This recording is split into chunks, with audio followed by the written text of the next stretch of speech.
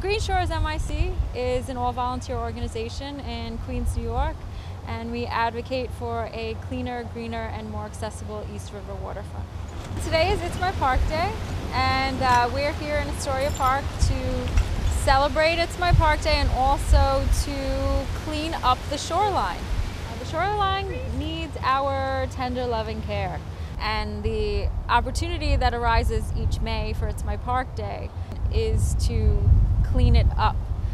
You feel a sense of pride and a huge investment in ensuring that things are not only good for you, but um, for your neighbors and for future generations.